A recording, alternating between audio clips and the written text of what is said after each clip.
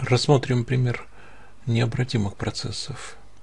Если ввести в соприкосновение два тела, температуры которых различаются, то от более нагретого с температурой Т1 к менее нагретому Т2 будет наблюдаться поток тепла, будет передаваться внутренняя энергия. Это приведет к тому, что температуры тел за счет процесса, который называется теплопередача, выровняются – Обратный процесс невозможен. Если вероятность его отлична от нуля, то она столь мала, что такой процесс никогда не наблюдается. Второй пример – расширение газа в пустоту.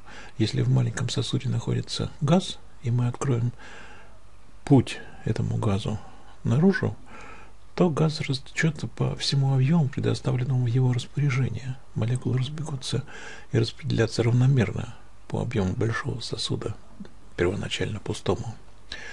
Теоретически все молекулы могут собраться опять в маленьком сосуде, но практически этого никогда не бывает. Процесс не обратим.